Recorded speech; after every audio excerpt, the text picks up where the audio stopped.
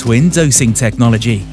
Where previously one catalytic converter eliminated nitrogen oxides, this is now done using two. This results in minimum emissions. How does this work safely and in any driving situation?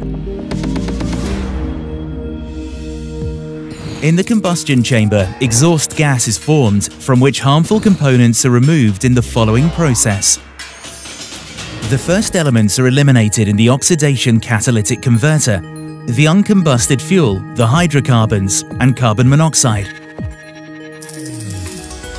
The diesel particulate filter then retains the soot particles.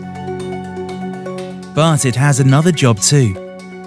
It also works as the first SCR catalytic converter.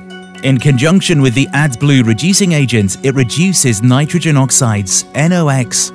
Catalytic converters achieve their full impact at specific temperatures. In this case, it sits close to the engine, where it warms up quickly. This makes it especially efficient at low temperatures, such as after starting up or during slow city driving. If necessary, the engine can accelerate the warming up process. The second SCR catalytic converter supplies AdBlue again. It is located in the car's underbody. There, the temperature for the catalytic converter is just right when the car is warm or the engine is subject to heavy strain, such as when driving fast on the highway.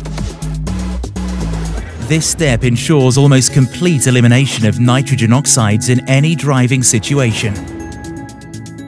In this way, both SCR catalytic converters share the task of removing nitrogen oxides from the exhaust gas with utmost efficiency. And not only on the test rig. In particular, during real-life measurement runs, the so-called RDE tests, the TDI twin dosing technology achieves excellent results. Measurements from independent institutes show that the TDI Evo drives lie well below the NOx limit values of Euro 6D. Simultaneously dynamic, economical, comfortable and clean,